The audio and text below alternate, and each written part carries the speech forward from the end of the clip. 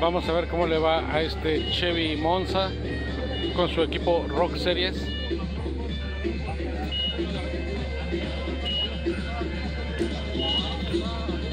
Aquí le están explicando al propietario las categorías que hay y en cuál le toca participar.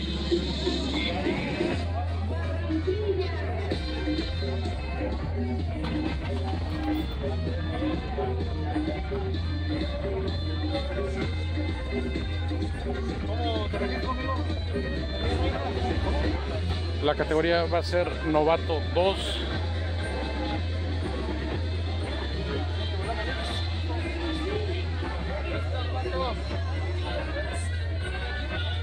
Ya está listo para su primer tiro. Feeling the place.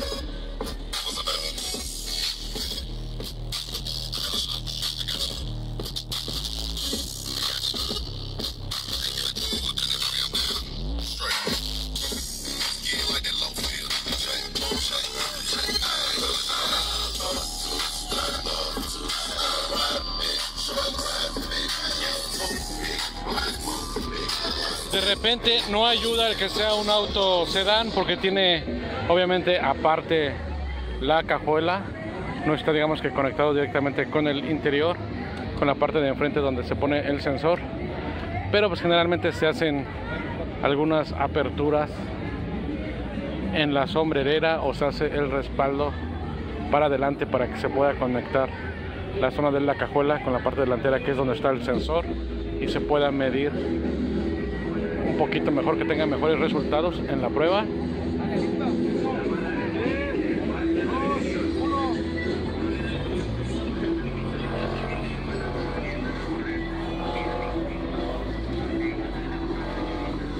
Su primer tiro pegó 143.21 y en el segundo está pegando 143.7 decibeles.